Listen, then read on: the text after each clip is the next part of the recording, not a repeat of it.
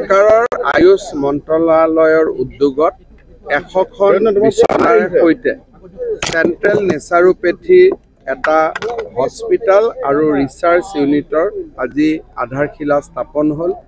প্ৰধানমন্ত্ৰী নৰেন্দ্ৰ মোদী ডাঙৰীয়াৰ আশীৰ্বাদত আৰু কেন্দ্ৰীয় মন্ত্ৰী সৰ্বানন্দ সোণোৱাল ডাঙৰীয়াৰ প্ৰচেষ্টাত অসমে নতুন বছৰত এটা সুন্দৰ উপহাৰ পালে। মই মোদী ডাঙৰীয়াক ধন্যবাদ জনাইছোঁ সোণোৱাল ডাঙৰীয়াক ধন্যবাদ জনাইছোঁ আৰু আমি সকলোৱে চেষ্টা কৰিম যাতে নিৰ্ধাৰিত সময়ত এই হস্পিটেলখনৰ নিৰ্মাণ সম্পূৰ্ণ হয়।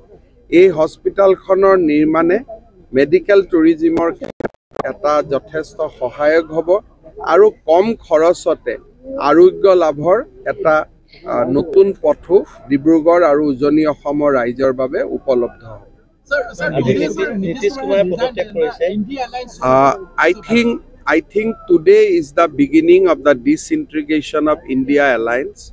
When India Alliance was formed, we told everyone that this is a short-lived alliance. This alliance will not live long because of ideological contradiction. They are only target Prime Minister Narendra Modi you, con- you cannot form an alliance only to oppose an individual. Today, Prime Minister has become a world leader. He inspired the entire global community.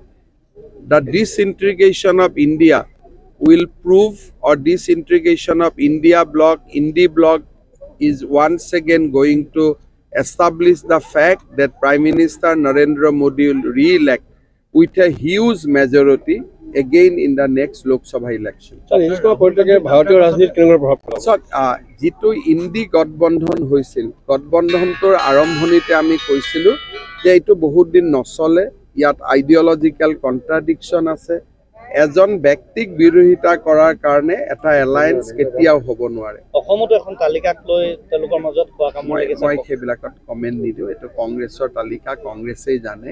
তালিকা শুদ্ধ শুদ্ধ ইয়াক লৈ মোৰ কোনো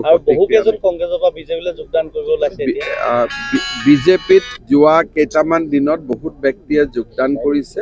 বিশেষকৈ অৰাজনৈতিক ব্যক্তিসকলক আমাৰ দলত অনাৰ। আমি এটা প্ৰক্ৰিয়া চলাইছোঁ চিকিৎসক ইঞ্জিনিয়াৰ আৰ্কিটেক্ট চাৰ্টাৰ্ড একাউণ্টেণ্ট সাহিত্যিক সাংবাদিক এনেকুৱা ধৰণৰ আমি সমাজৰ বৌদ্ধিক নেতৃত্ব দিয়া।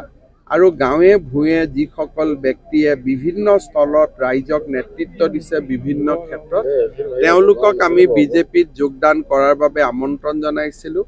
আমাৰ আমন্ত্ৰণত সঁহাৰি দি যোৱা এটা পষেক ৰাজ্যজুৰি বিভিন্ন যোগদান প্ৰক্ৰিয়া চলি আছে তাৰে অংশ হিচাপে আজিও গুৱাহাটীত এটা যোগদান প্ৰক্ৰিয়া আছে যিসকলে আমাৰ দলত যোগদান কৰিব আজি তেওঁলোকক মই শুভেচ্ছা জনাইছোঁ sir, sir, last BJP year- last year, sir, when sir Rahul Gandhi started the Bharat Jodo Nyaya Yatra, Bharat Jodo Yatra, Congress launched the three states. Now this time also, the Uh, West Bengal and- जहां से ही राहुल गुजरेगा वहाँ ही कांग्रेस खत्म होगा जो कुछ भी बसा हुआ है वो भी खत्म हो जाएगा because he so uninspiring so much arrogant उनका कोई लीडरशिप का क्वालिटी है ही नहीं जहां में वो पाव रखेगा वही स्थान, वही इलाका बीजेपी के लिए एकदम बढ़िया हो जाते हैं वो बीजेपी का सबसे बड़ा स्टार कैंपेनर है ছাৰ ন্যায় যাত্ৰাৰ পিছত এতিয়া ভা- গোটেইকেইটা বিজেপি ভাৰতৰ পৰা বাহিৰ বছৰ হ'ব বাৰটা চৈধ্যটা নহয় চাৰে এঘাৰটাই আছো আমি কা আন্দোলনৰ নেতা এজন নেতৃত্ব দিয়া দীপাংকৰ নাথেও বিজেপিত আহিছে।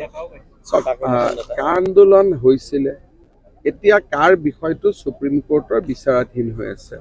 সুপ্ৰিম কোৰ্টে যিয়ে জাজমেণ্ট দিব তাক বিজেপিয়েও মানিব আন্দোলনকাৰীসকলেও মানিব আন্দোলন বিৰোধীসকলেও মানিব। গতিকে এতিয়াতো আৰু কাৰ প্ৰাসংগিকতাটো নাই গোটেই বস্তুটো সুপ্ৰিম কোৰ্টৰ ভিতৰত সোমাই গ'ল।